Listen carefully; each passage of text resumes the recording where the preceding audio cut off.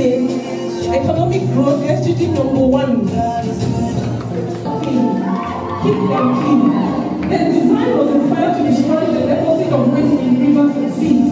Life under the sea is as important as on land. The blue color represents sea and yellow land.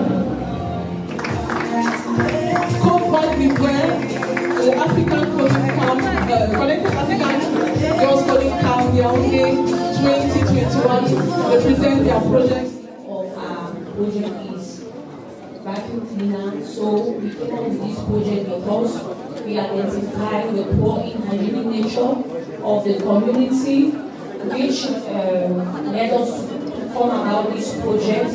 Um, so this project is a vacuum cleaner. A vacuum cleaner is a device that is used for suction of debris or particles. So this, with vacuum cleaner, it helps us. It works on surfaces such as laptops, um, carpets, and um, laptops and carpets. So, which when you connect the battery to the DC motor, it does the picking for you. So let me do a little bit of demonstration. So in my project, we try to look at the SDG code 1 and SDG code 5. SDG code 1 is um, poverty.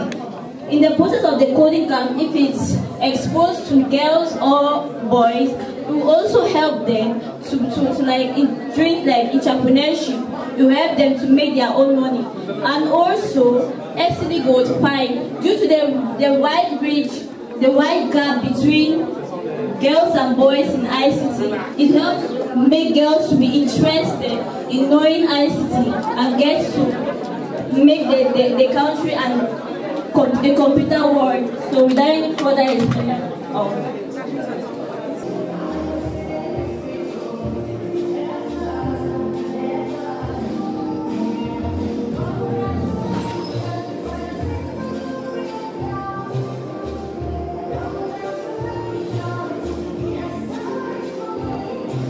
On behalf of UN Women, it gives me a great pleasure to welcome you all to the opening of the Connected Girls Innovation Fair, an important component of coding camps that we had the opportunity to support in July this year as part of the strategic partnership with Government of Cameroon, UNECA, and ITU. African Connected Girls Coding Camp is a key initiative um, from the ECA, but also in partnership with uh, the government of, Cameroon, you and UN Women, and we also appreciate immensely the support of the Alibaba Ant Group, uh, who have uh, made, helped to make this possible.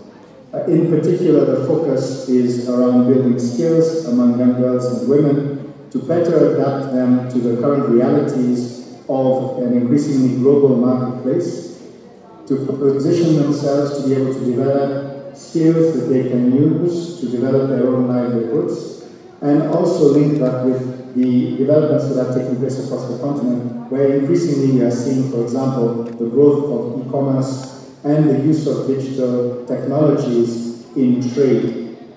With the implementation of the African Continental Free Trade Area, we expect the use of digital technologies to be further uh, emphasized, and therefore the importance of this kind of initiative, which brings skills to young women and girls across the continent. The COVID-19 pandemic has served as an eye-opener to the crucial role that digital technologies play in Africa's digital transformation and the urgent need to address the gender digital divide across the world and especially in Africa. Overnight, because of coronavirus, education is confronted with a threat of unprecedented magnitude and a crisis of exceptional proportions.